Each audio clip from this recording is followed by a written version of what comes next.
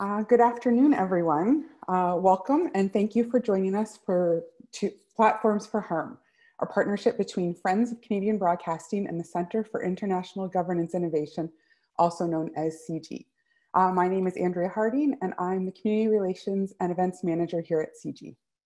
For those of you who are joining us for the first time, CIGI is a nonpartisan public policy Research Institute, often referred to as a think tank that seeks to build bridges from knowledge to power by conducting world-leading research and analysis to offer innovative policy solutions.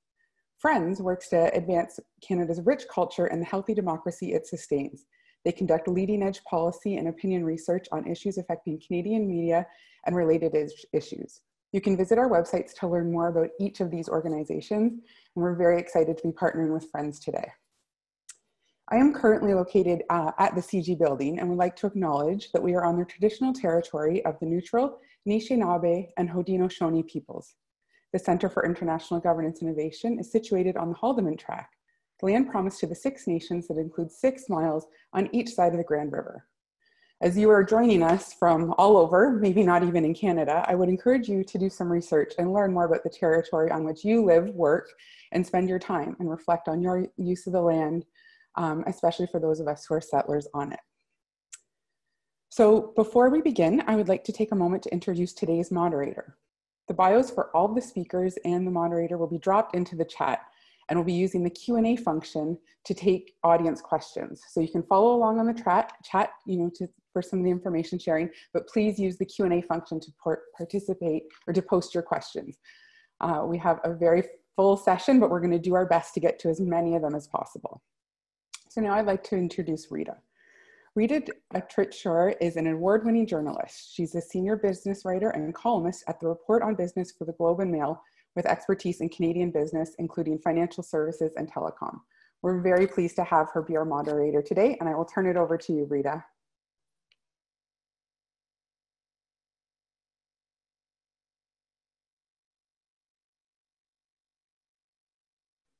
Oh, Rita, you're still muted. All right, COVID times. okay, I'm very pleased to be here today and um, that participating in an important discussion um, and looking at solutions to what is really a, a really important problem. I want to introduce our panelists. It's really a great group. I want to start by introducing the Honorable Catherine McKenna, Minister of Infrastructure and Communities and MP of Ottawa Centre. Uh, Ms. McKenna is joining the panel today in an individual capacity to share her firsthand experience with harmful online content. She will not comment on the actions the federal government is taking in this area per an agreement between her office and the event organizer CIGI and Friends. Next, we have Daniel Bernhard. He is Executive Director and Spokesperson for Friends. And then we have Taylor Owen, he's a CIGI fellow, senior fellow. He is the Beaverbrook Chair in Media, Ethics, Communications, and Director of the Center for Media Technology and Democracy at the Max Bell School of Public Policy at McGill University, where he is also an associate professor. Heidi Tworek is an associate professor of international history, public policy at the University of British Columbia. A reminder to the audience uh, to input your questions in the Q&A function throughout the conversation today, and we will do our very best to address as many questions that you have as possible at the end of our discussion. I want to turn over the discussion at this point to Daniel Bernhard to kind of lay the table uh, a bit by talking about the uh, Platforms for Harms research paper that came out today. So Daniel, please take a few minutes to give us some of the highlights. Thank you very much, uh, Rita, and thanks to all of you for, uh, for attending uh, and to the panelists as well for participating in the discussion. I'll be very brief. Friends is releasing today, as you mentioned, Rita, a new piece of research called Platform for Harm. Uh, you can go to friends.ca to uh, check out the research and uh, briefing materials related to it essentially the backstory is that you know over the past five years especially the world has become increasingly aware of the negative impact of harmful content circulated on social media. Uh, more that's a general statement. And in specific um, how certain companies i would say facebook in particular have demonstrated dubious um, ethical standards when it comes to dealing with this harmful content which happens to also be uh, very profitable. Now um, I think we all agree that this content is odious, but the point of the research is that actually some of it might be illegal and uh, that the illegality may be not just on the part of the people posting the content, but also on the part of the platforms who are spreading it and disseminating it. And so that's the nature of the argument that we uh, make here. And so while the Justice Committee and others, for example, are considering new laws uh, around online hate and new definitions around online hate.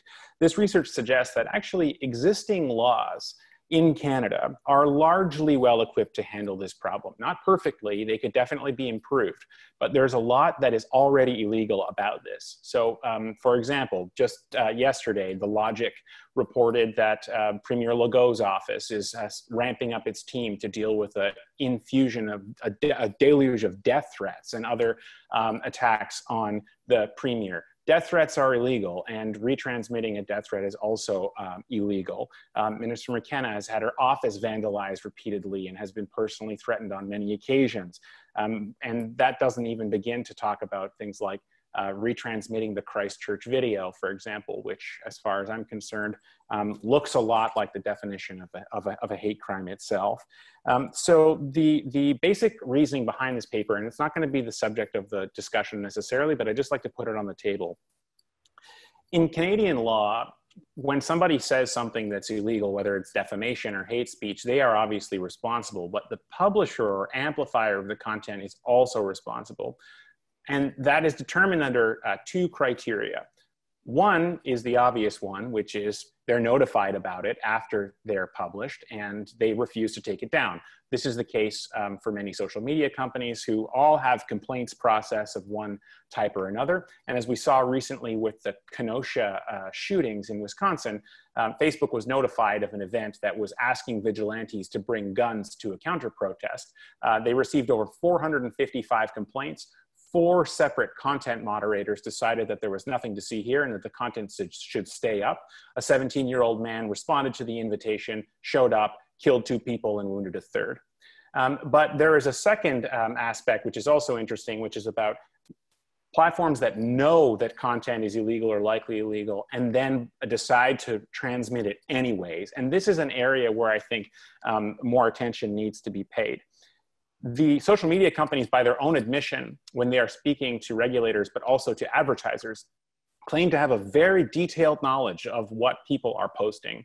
Um, Mark Zuckerberg has claimed under oath that Facebook takes down 99% of terrorist content before a human user ever sees it. 89% um, of hate speech supposedly comes down before a human ever sees it neglecting the fact that you know if a car company told you that the seatbelts only work nine out of ten times you'd be outraged. You know this is an admission that between the time that a user clicks post and the time that that content becomes visible, clearly there is some software that is doing an analysis to say, should we publish or should we not publish? And the content that gets through, therefore, has passed that check. Even if the check is, is, is poor, um, that looks like an editorial discretion, um, which would uh, signal liability. And so we're hoping that uh, MPs, police, judges, prosecutors, should take a look at this paper to look at how the platforms actually work by their own admission um, and to evaluate our claim that uh, actually this constitutes advanced knowledge. I would just say one last thing, which is people often say, well, what about free expression? What about the risk of cracking down too much? On this, I would add two points. The first point is that the facts suggest that this so-called, you know, this free-for-all actually limits free expression. It does not increase free expression. Why? Because people see Minister McKenna's office getting vandalized and all the death threats and all the things that come to her, and they say, Why on earth would I get involved in public life if I have to endure that? And so, actually, it's marginalizing people, and we can see that um, women, uh, people of color, um, non cis people are way disproportionately the targets of this, and the evidence suggests that many have self censored and have restrained themselves from participating in public speech as a result. The second point that I would raise, though, is that this is already illegal. And our approach, and the reason why we are proposing this approach, is that just as it always has been, a judge will decide. We don't suggest that an MP or a bureaucrat or a politician go in and say what can stay up or what can come down, but that a judge can decide.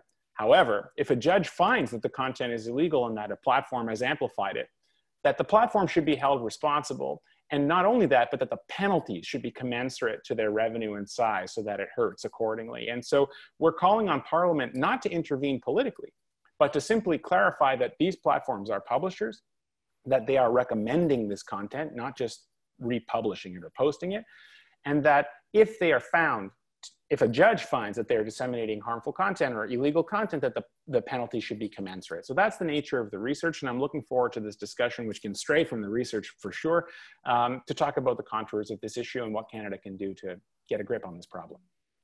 Thank you for that um, really uh, important outline of the paper. I thought the paper was great. Um, I want to bring in uh, Taylor at this point uh, to just add to your comments about what is harmful content. Specifically, where do we draw the line between objectionable and illegal content? And most importantly, who decides? So Taylor, over to you.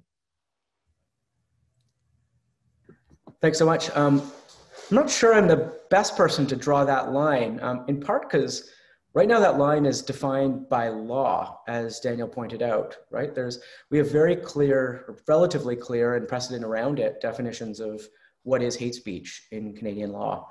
Um, the question that I think is far more difficult here is what do we do with all this content that sits adjacent to that?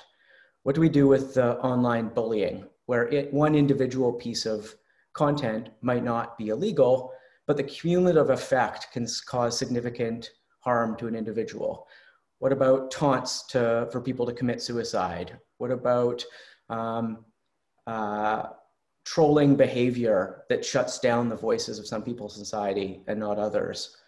Um, most of these things sit outside of the bounds of what we would call illegal, um, but they're clearly causing a problem. And I think the bigger question we have to get at here is is there something particular about the nature of our digital technologies and the platforms that Daniel described and the nature of how they're designed and how they function that make that kind of problem worse? We've always had bullying and taunting. We've always had abuse in pe- of people in public life. But is there something about the design and how these companies function and are incentivized that make the problem worse and demand a different type of policy response than we've done in the past. Um, I think Daniel's made a persuasive case that there is, um, and I hope we talk more a bit more about like what those incentives look like, what that those design decisions are that actually, I believe, create this problem in a new way and demands a new policy approach to it.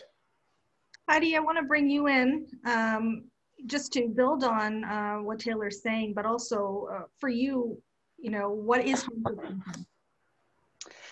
yeah, so I think um, Taylor and Daniel have quite rightly pointed out that there's a long history of legal debates on, on what is hate speech. And, and we see that this is not just a debate, very importantly, in, in Canada, but this is a debate that's actually currently happening worldwide. And it's a real question amongst, let's just take democracies as to how you actually deal with this. One of the first examples that we saw was in Germany, where German politicians said in 2017 their approach would be they wanted platforms to enforce 22 statutes of German speech law online. So they wanted the platforms that had over 2 million unique users to deal with any complaints within uh, 24 hours. And this was then enforced by German law, something called NetzDG, or if you want the full German compound noun, the Netzwerkdurchsetzungsgesetz. Uh, and if you're lucky, I'll test you at the end as to whether you can pronounce it. Um, but this is, you know, very much a, an approach that says, We've already got speech law. The problem with the platforms is that it needs to be enforced online. Um, and yet we continue to see uh, problems within Germany, which I think speaks to Taylor's bigger point that this is not just perhaps a case of simply enforcing law that already exists on the books, but thinking more holistically about what is new about these platforms, what is new about their algorithmic recommendation systems. Uh, do we need something that accounts for the processes rather than just the individual posts, something that is more holistic. And I think one of the things that, that Canada has is what I'm going to call the second mover advantage. Canada is not the first country to be thinking about this. It's really in this sort of second line uh, where we can look at what other countries like Germany or France or even the UK are attempting and ask whether this makes sense within Canada and what we can do that is also a democratic approach. Okay, uh, Daniel, back to you for a second. I wondered if you wanted to build on your uh, opening comments by talking a bit about who ought to decide um, whether something is harmful content? Mm-hmm. Um, I, I, mean, the short answer, in my opinion, is a judge, and that's been the the, the case, I think, for a while. Taylor's point, though, um, I think is is really important. You know that the the the adja- the content that is adjacent to illegal is obviously the most difficult. These edge cases, and I, I would respond to that by saying, yeah, that's always been the case. It's been the case with newspapers. It's been the case with broadcasters, but penalties strong penalties for the egregious violations create an incentive for people to be careful where the edge cases occur. And I'll, I'll give you an example. I submitted an op-ed to the to the Globe and Mail a couple of weeks ago, which which ran, and uh, you know the Globe editors. There were three editors and a lawyer who read the piece, and there were a couple parts of it that they were uncomfortable publishing.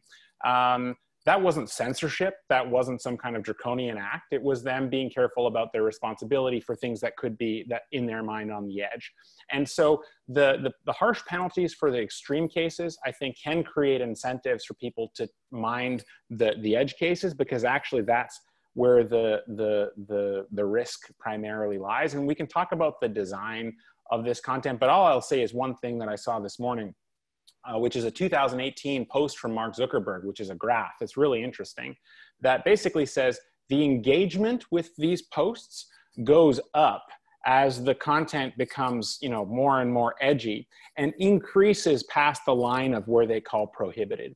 And so these platforms understand and have made public statements that they make more money when people post things that are egregious bordering on illegal.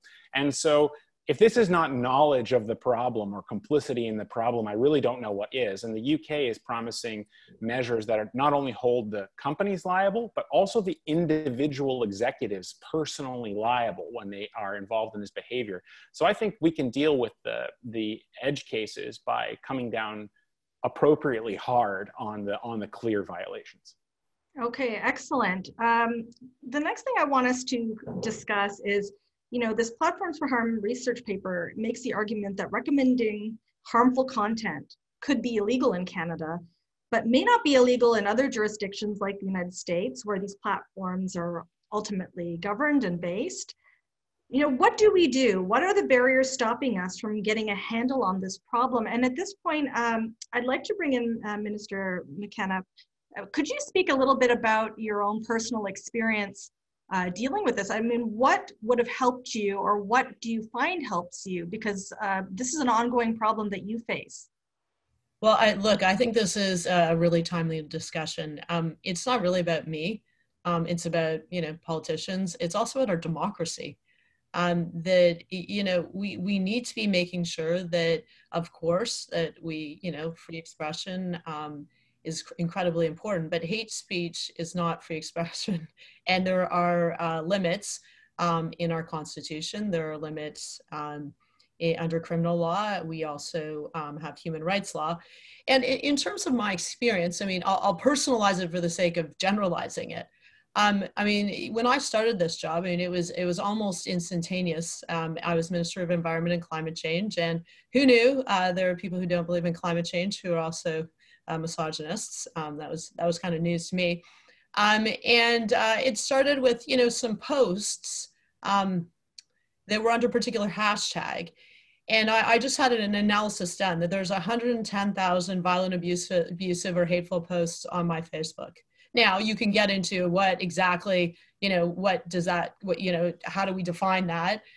Um, but I, I, think that the and I mean I can give you examples how you know this abuse that, that happens online actually goes offline. So I saw this many many times. I met with my kids. People are using the same language uh, that they are using online, the same words. I'm known as you know I think it's really irritating. But I you know as my daughter said, Barbie is on the moon. Um, I'm named Climate Barbie, so you can do a search that way. But people use the same language offline um, my campaign office was defaced. And actually, interestingly, uh, they use the C word, which I don't need to say because I'm pretty sure everyone knows it. Um, but uh, the Ottawa police investi- are investigating that as a hate crime. And the point of all this, and it's happened across the board. It happens to my, you know, one of my colleagues, Lenore Zann, Zvan, has had a ton of it. Um, she's in Nova Scotia. Kathleen Wynne saw it. Shannon Phillips, the environment minister, um, in Alberta. It's across party lines. Michelle Rempel wears a you know a dress. People like have all these comments on, on this. Um, but it's just interesting. I think one of the really interesting points that's made here. I mean, we can spend a lot of time saying what's against the law, but it's also the what is the what is about these platforms. So let's take what happens to me. So you know, I have a conversation with the social media companies, and they're very sympathetic. They're like, "That's terrible. You go through this." I said "Great. So what are you going to do about it?" And they said, "You know what? Report any incidents to me." I said, that is amazing because I could spend every single minute of every day, my whole team could. If you want to know, go right now on any post, go see what's said. Um, that's not my job. My job is actually doing my job. It's not taking on this mantle of having to call out social media companies or terrible posts. It's actually right now getting things built for Canadians and you know working locally to keep my res- residents of Ottawa safe during a pandemic and supporting them economically. That's my job. And so what you see about these social media companies is they're not taking responsibility. These are very smart people, have great faith in their ability to use their their algorithms to actually take action.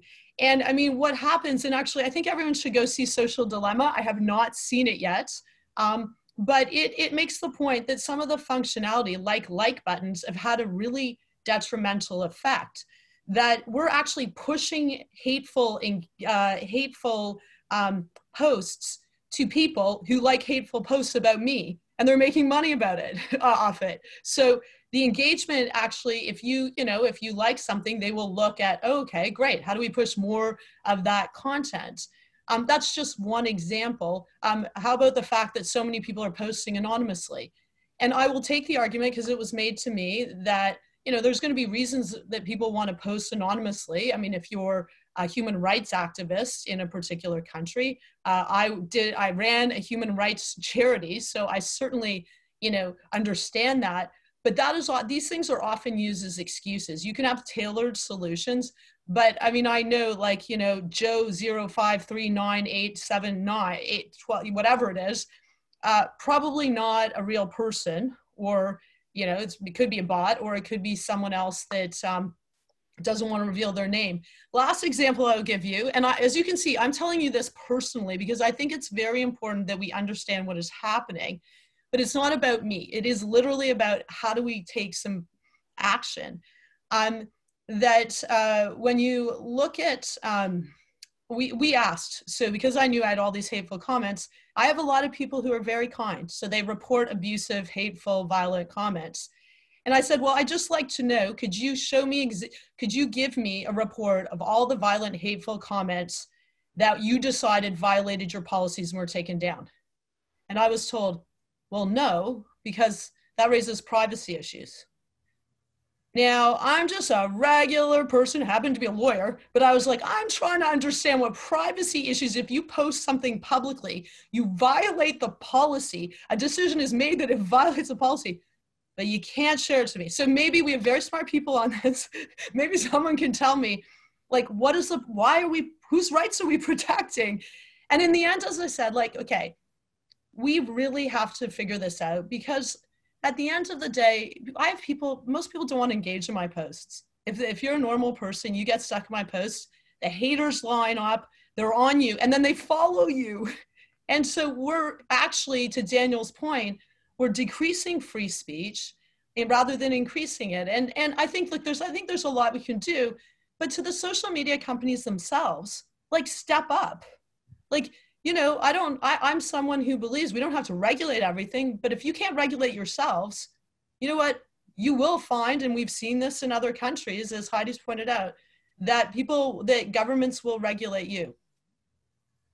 Okay, I mean, there's also a bigger discussion going on now about how companies owe more to society than just uh, maximizing shareholder value, that they have to be active participants um, and uh, help create a healthier society. So that's that's part of a larger debate on uh, social risk-facing companies. So it's a great point.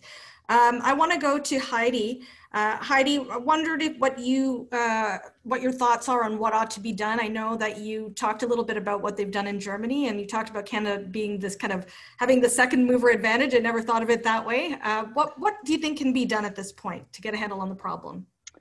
Yeah, so I wanted to, to pick up on, on a couple of things that Minister McKenna said. Uh, the first is this question of what platforms do and don't know, this real sort of asymmetry of information that we're facing. Uh, I've called this in other pieces the company's desire for agnotology, which is their desire for ignorance. So I think there's a kind of weird thing going on with platforms where they tell us on the one hand how much they know about us, right, in terms of selling things to advertisers and so on and so forth. And yet, on the other hand, when certain questions are asked um, about, for example, how much hate speech there is in, say, Canada, specifically, uh, where are the content moderators located to deal with uh, posts in Canada, for example, we don't get any answers. Um, the same about how the recommendation algorithms function. Do they steer people towards more extreme content? So if they like a hate post against Minister McKenna, are they sent to other more extreme content? So this is what I call agnotology. And this seems to me a space for regulation, which is to say, uh, companies need to know when there are things that can be damaging. Another way of thinking about this is a precautionary principle. Uh, we don't let chemicals, medicines, uh, vaccines during a pandemic on the market before we check them. Um, and so the same may be true of the algorithms of the platforms. Um, and this is a question I think for, for us to debate. Um, where is the moment where regulation should happen and what type of regulation should there be? So should it be regulation around, for example, uh, transparency to deal with some of the, the issues that Minister McKenna raised? Should there be certain types of content that is available to researchers. So you could imagine a transparency regulator um, that may deal with some of these agnotology problems so that we can then finally have evidence-based policy uh, where we're actually able to make these decisions on the basis of evidence. And I'll just give you one very concrete example. So I was fascinated to hear about uh, Minister McKenna's research into her posts on Facebook because I conducted some research on harassment against political candidates during the last Canadian election in fall uh, 2019. And we were only able to do that on Twitter because that was the platform that enabled us to download uh, all of the tweets directed at all the political candidates. And that wasn't possible for us on Facebook. So we can tell you what happened to all the political candidates on Twitter, but not on Facebook. So that's a kind of base level. And then the second thing I'd say is that I think because these platforms are global, they started out with the idea that there could be global terms of service for content. And yet, most countries, including democracies who believe in freedom of expression, have very different views on what freedom of expression means in the United States. So I think a lot of this clash comes from a company vision that they can make global uh, US understandings of freedom of expression. And, and Canada and Europe have very different visions of that and where the boundaries for things like hate speech lie. That's, I think, one of the other issues where we need uh, like minded international partners uh, to help us deal with uh, these companies and to help them understand that there are many different ways of approaching democratic freedom of expression that's still based in uh, human rights. Okay, excellent. Daniel, um, what about you? What I mean, your paper outlines a lot of potential solutions on what ought to be done. Um, what are your thoughts?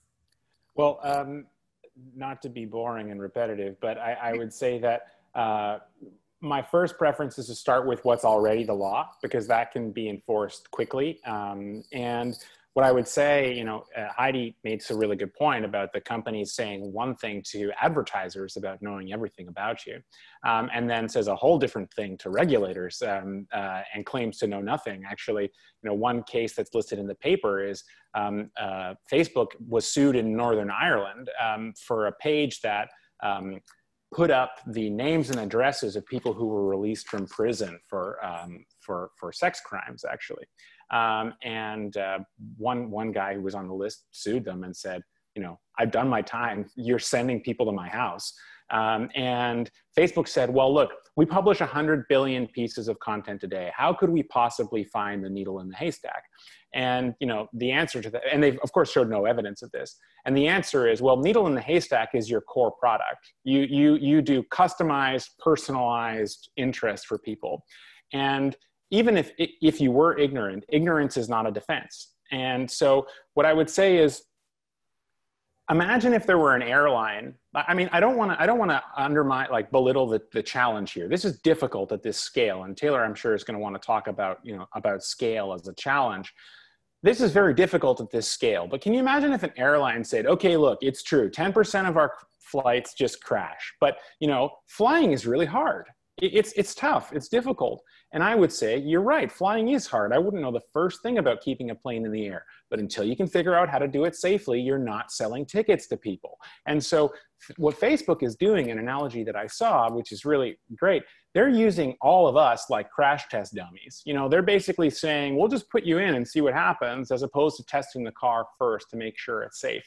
So this is ultimately in my mind a question of who's in charge. If we already have these laws, we already have these rules.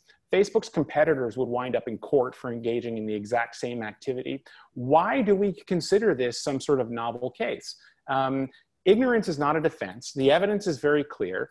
I think that we should start by informing police and prosecutors and judges about how these platforms work and say, actually, it's not so different from things you've already convicted other people for doing, and you should you should go for it. We can start there, and I think our laws are fairly well equipped um, to deal with some of those cases, that would be where, where I would advise that we, that we look, look for, for starters.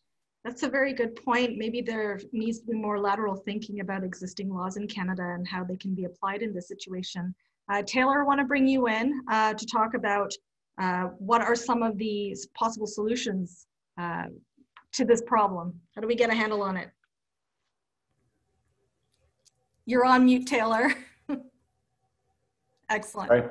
Yeah, it's, I mean, it's such a big question because these companies are so big, operate at such global scale, and touch so many aspects of our lives and our societies and our economies, right? There, there, there are many wonderful things that come from them, both socially and economically and politically, and there are many downside risks. And because they're so big and broad and complicated, there isn't one solution to any one of those challenges. Right?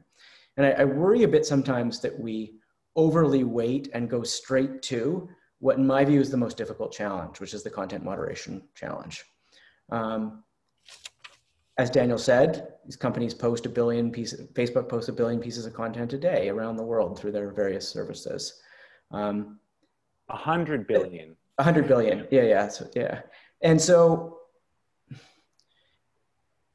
so a couple of things. One, the needle in the haystack argument is to a certain degree true because of that scale.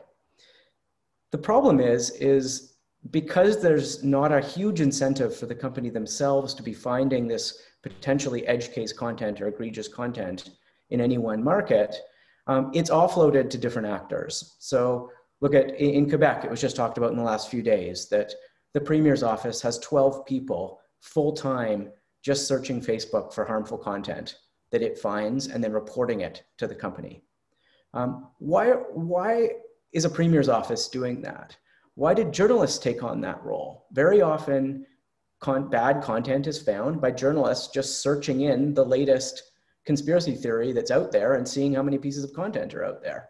Researchers do it, right? We, we employ a dozen people full time to monitor huge swaths of social media data, looking for bad things and harmful things and studying them. And why is this all being offloaded to the people who aren't making money off the very product, right? So, so I think we can get at some of the harmful speech problem by just making the right incentives for companies to find and locate and pull down this content. And that sits in the category that Daniel's talking about. Um, my bigger challenge, though, is that many of these problems are actually rooted in a first cause, which is what the actual incentive structure and design of the, of the, the tools are themselves. And I think looking at the case of some of the content um, Catherine McKenna's experienced gets at this. That, so just look at why, how and why thousands of trolls would descend on a piece of content she posts or a conversation about her. Um, and it's not because there are thousands of people all at once thinking some misogynist thing about the minister and all deciding they want to talk about that at the same time. It's not because of that. It's because one person maybe starts that meme. The algorithm sees that that meme is getting attention and getting engagement. The algorithm is very good and the system is very good at finding people who might also agree with that particular perspective. So it gets distributed to them. Um, a group might be formed on Facebook to talk about that meme, which then pulls in more people who might have broadly defined similar antagonistic views of the minister.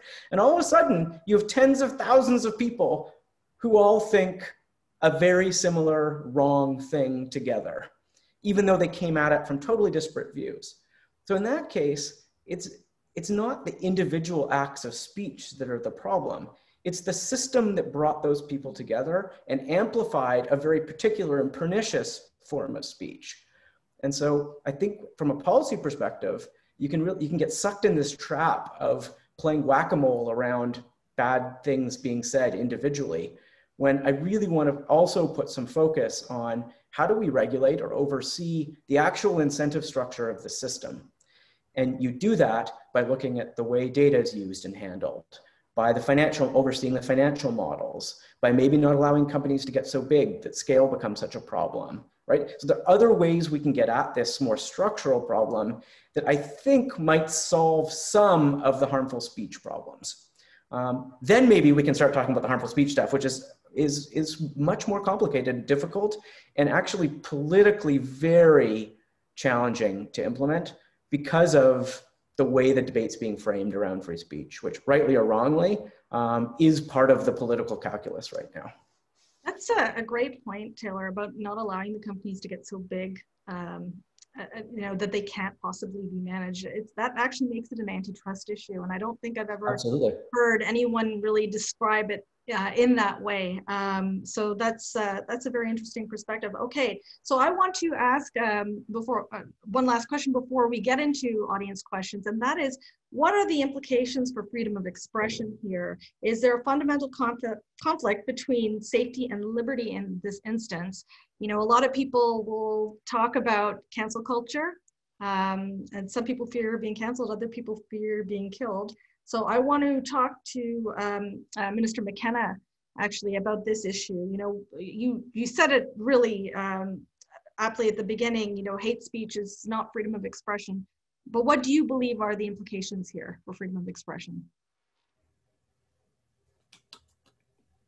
Uh, so I have a lot to say on the antitrust side because my background is an antitrust lawyer, and, and, to be honest, the U.S. and the uh, European Union is is looking at this this particular issue.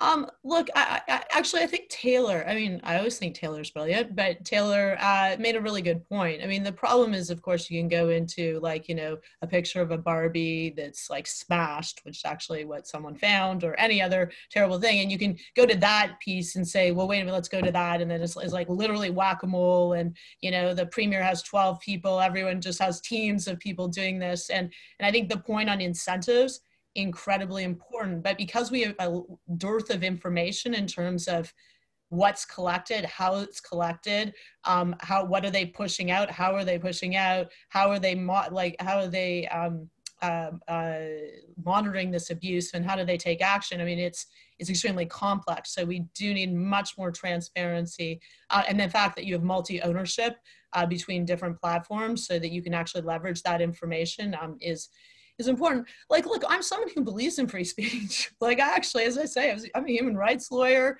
I worked in Indonesia. I worked on a peacekeeping mission. Like, I value this. But this is a fake discussion. I was going to go out there. Like, people say this all the time. Like, oh gosh, look, there's another politician who wants to limit free speech. No way. I'm all for free speech. The problem is so many, like, hate speech is not that. Abusive comments are not that. Because what it does is it really has the impact of silencing people. You know, I'm not going to be silenced. Like I know to all those people out there, I'm not because I am from the hammer. I am Irish. I am in politics because I think it's important to discuss with people and engage. But there are a lot of other people, and reasonably so, that are saying, I don't, how would I do this? Um, this is why I speak out. You know, people say, you know, maybe don't do this discussion. No, I'm doing this discussion because it's so important that you have someone who's in politics who can see the impacts. And by the way, every time I have to go out and have a discussion about this, because um, there's been an incident in my office, which I hate, by the way. Um, I hate the incidents, but I hate going out.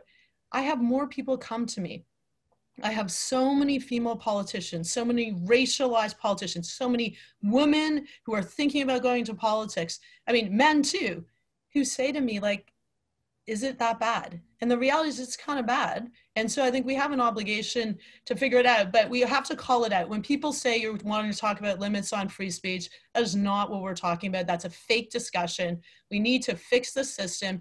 And I need to make it so that women and girls out there of you know broad diversity, they want to go into politics, that they'll do it or they won't not do it because they feel like it's a not a safe space to engage. And if you look at my colleague like Maryam Monsef, the amount of hate she has got because she's a visible minority, that the that the racist comments that she gets, it is completely unacceptable and appalling.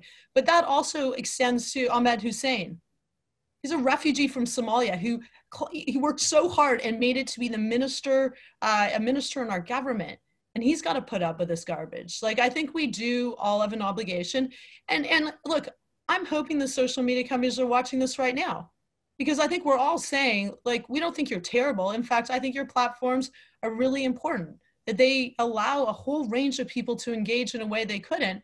But we got a problem. And it's a really big problem dudes. So let's figure it out. Um, or you're going to pay the price because it will happen. It'll happen through antitrust. It'll happen through you know regulatory action. It'll happen. And also probably the biggest thing that they should be worried about is people will be like why am i on these platforms? Like why would i bother? And that's the biggest thing they need to worry about because if your business model starts to fail because people don't believe in it you lose money and your shareholders lose money. So i'm i'm look i'm an optimist in life and i think that we need to have practical discussions um, and then we can really make a difference because I, I am getting tired of this. And, and these conversations are important, but more important, I think, is action. And I think Canadians are there. I think people around the world are there. They want to see serious action because they don't think that this is cool. They don't think it's okay that you go into politics and you take massive amount of abuse online that then jumps offline.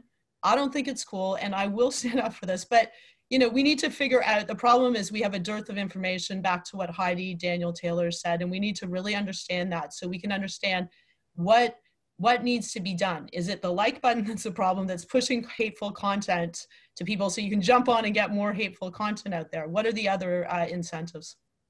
Okay, um, that's uh, these are all great points. Uh, obviously, this has real, um, in some cases, life and death uh, implications for people. Uh, okay, Daniel, uh, you're next. you know, what do you think the implications are for free speech?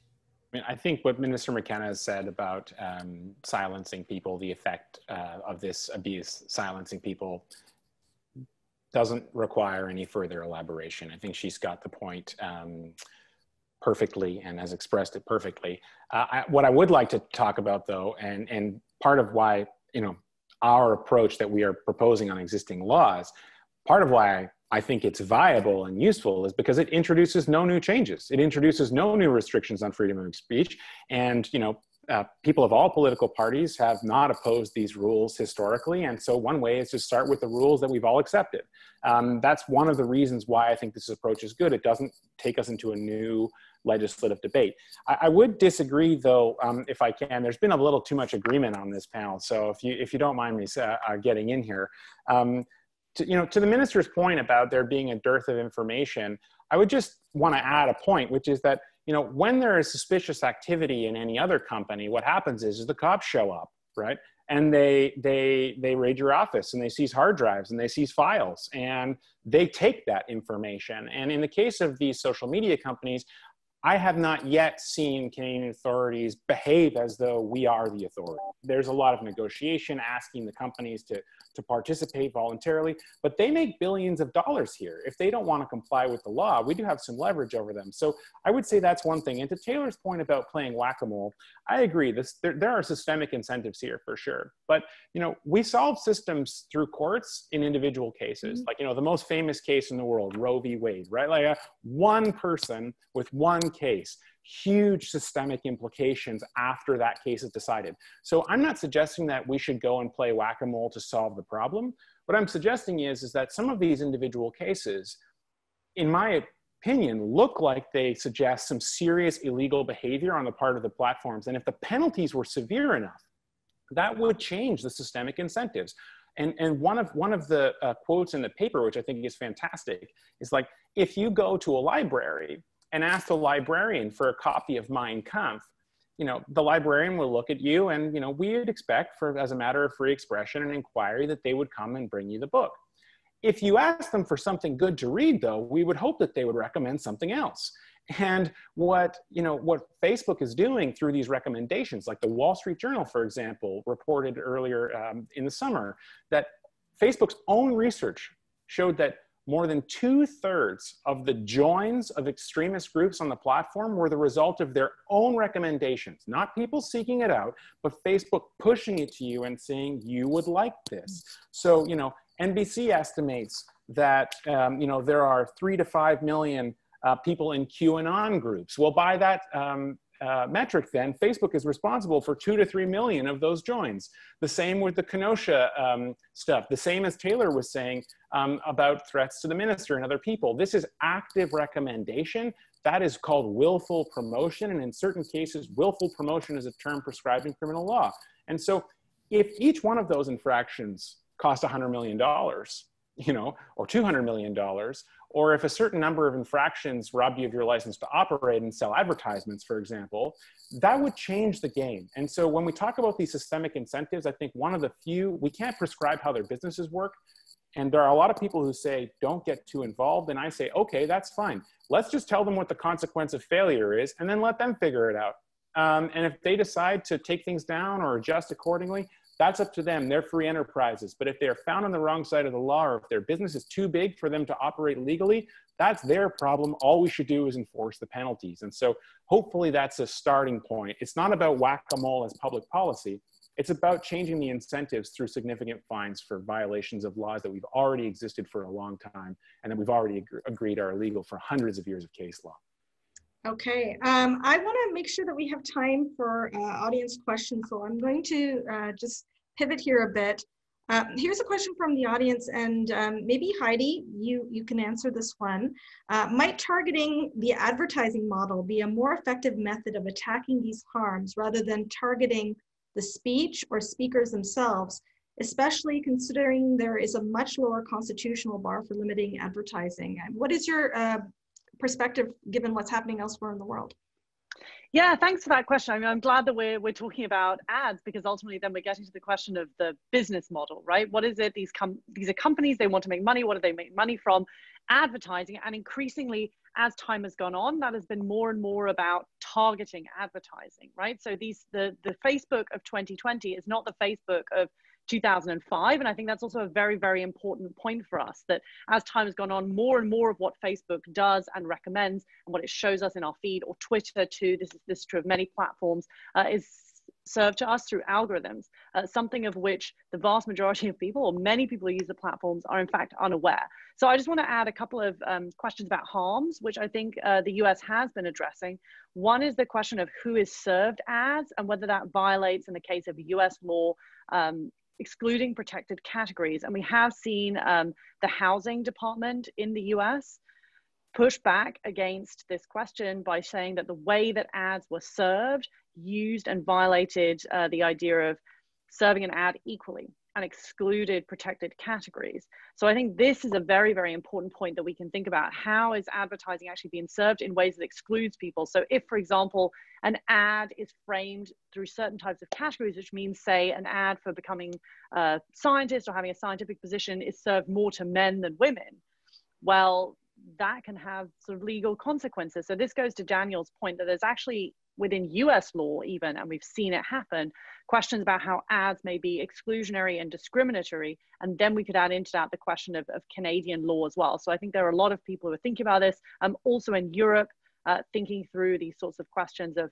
antitrust or how the algorithms operate. And within Canada, too, we have ideas of algorithmic impact assessments, uh, which the Canadian government is required to do. And the question would be is that something that should be extended towards these businesses? And perhaps it's solely through uh, the advertising at the beginning, given that that's how the companies make money. So I agree, we shouldn't just think about the individual users posts, but rather the thing that makes companies uh, money and whether that's actually being served in a way that is uh, non-discriminatory and adheres to uh, Canadian law.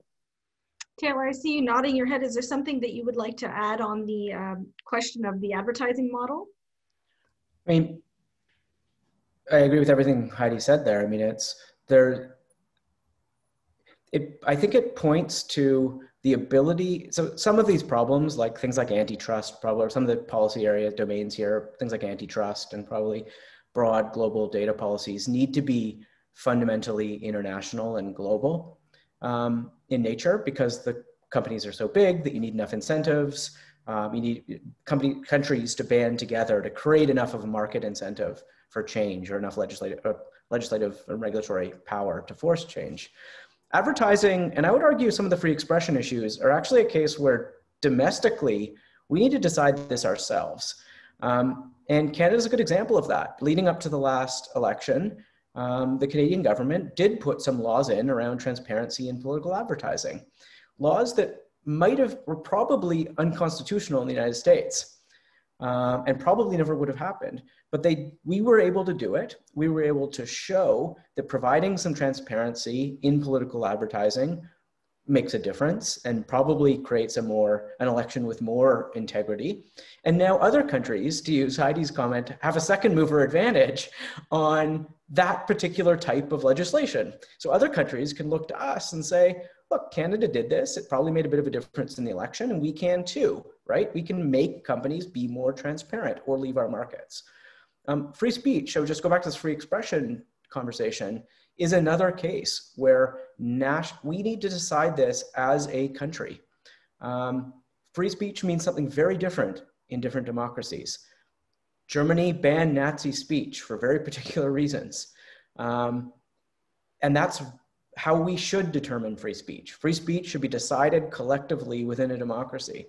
And so I think in Canada, we need to have a conversation not about whether our what the terms of service globally of a platform company should be, or what free speech should look like in the United States or in other illiberal or even in the liberal regimes, we need to decide what we want it to look like here. And so I, I would join in Daniel's call here, and I think the paper does a good job of spurring this conversation of, and I'm also put a nod to this Commission for Democratic Expression that's going on right now that Beverley McLachlin's chairing and is calling for input from Canadians on. Um, and I would recommend people to, to participate in that process and put in um, opinions because we need to decide in Canada what we want this to look like um, because it's our speech and it's our democracy. Okay, we have time for just one more quick question from the audience. And I'm going to um, ask Minister McKenna uh, if she might be able to answer this one. Uh, this one's an interesting one. Don't we have to look for a, a more long-term place to concentrate our efforts. One of the suggestions that the uh, audience member is suggesting is education. I understand education is not uh, a, a, federal responsibility and that you're uh, speaking today as an individual, but you know, what are some of the other uh, places that we should be concentrating our efforts on on the long term? Uh, so that's a really good question. Um, like, uh, look, it's interesting young people. So I've, I have three kids um, and I mean, they have pretty strong views about social media, and and it's interesting. They're much more sophisticated about it. I think um, often that, I mean, they think they're more sophisticated, maybe, and it's just you know they're like, why would I be on Twitter? Like that's just people yelling at each other, and like it's fake accounts, and and so I mean, I think education is incredibly important, but to all segments of the population. Um, it's not just kids. I mean, we know that seniors are, are you know, are, are very active users of social media. And I think we need to have conversations. Um, you, you think about things that happen that people don't even real, realize, like Twitter, uh, I had to apologize because they had an algorithm that was favoring white faces over black faces. Like, do people know that? Do people understand advertising? I mean, I think smart, younger people, in some ways, are, are, are slightly are smarter. I think, um, except you know they've just grown up with this so privacy is much less of a, a concern with them um, look I, I, think that you have to do short-term and long-term things and i think um, i just wanted to go back uh, and just daniel made a good point. Uh, i actually think that you can do test cases or you can do you can you can take action um, through the courts. And that will you know if, if, you're successful on something big it can have a huge implication. It's true with precedents. I mean take the example he gave the christchurch massacre. Um, you could just make a decision that, that you're taking that down or you're holding them responsible like you know actually for not taking down the video Um, and then, you know, the chips fall where they may. Like, I'm pretty sure the courts would find that that's a, a reasonably justified that you would take action, free and democratic society. But I, I, I do think I don't want to diminish that. Um, but I think you got to use a whole range of tools. Well, we got to get a grip on this now because, you know, if we don't, it's just growing and growing as a, as a problem. And, and literally we're seeing that, you know, it's, it's influencing the outcomes of election. It's resulting in, in real violence against real people um, it's in, it's in increasing discrimination um, and hate um, and abusive um, uh, abusive um, actions. So, look, I think that there's a, a lot of different tools, uh, and as Daniel said, we don't have to reinvent the wheel all the time. We just need to implement them, and then a level of transparency and demanding action. Um, I think is also uh, is also part of it, and of course, education. I mean, look, I think I don't even know. Like when we talk about all of these different tools and the information these companies have and all of this um, it's hard to imagine. I remember i was one of those vulnerable people who said you could see if your face looked like um, some painting or what painting most looked like. So i thought oh that's kind of funny. This is years and years ago. And then someone's like oh wait you're now helping do with facial recognition software. And i was like oh god. Um, so you know we're all we're all susceptible and uh, you know people are these companies are pretty savvy uh, and they're making you know bazillions of dollars off of us. So you know, I think that we can figure this out. Great. I want to thank you all for your insights today. I mean, uh, this has been a really important discussion because not only have you all challenged uh, us to think about who actually is a publisher of, of this type of content, it's also kind of a, a revelation that, you know, perhaps our existing laws uh, that we already have in place just need to be enforced in such a way, or there needs to be, as I said earlier, more lateral thinking about how we enforce current laws uh, to tackle the problem. And perhaps we need to pay more attention uh, uh, to, as to the point that all of you have made about the financial incentives uh, that these companies have uh, for pushing out this content um, and that the role that they play in propagating it uh, and sending it out to users. It's uh, a really important discussion. And I really do hope that um, as a country, we can learn from uh, what has gone on elsewhere and uh, that second mover advantage that Heidi talked about, um, really implementing it and uh, coming up with some practical solutions. I want to um, turn the discussion back over to Andrea at this point. Thank you very much. Thank you, Rita, um, and thank you to all our speakers and all of you for attending today. Uh, we really appreciate you taking the time. I, and I know there were so many unanswered questions. I think we probably could have talked about this all afternoon or probably all day. So I appreciate you joining us for this. And I encourage you to fr visit friends.ca to see the full report if you haven't already. Check out cigionline.org slash events or subscribe to our newsletter to stay up to date on CIGI research and events. As Taylor mentioned, there's some work we're doing on this uh, through CIGI as well. And I'm sure there'll be more discussions on this topic soon. So thank you again for, to everyone for attending and I hope you have a good day.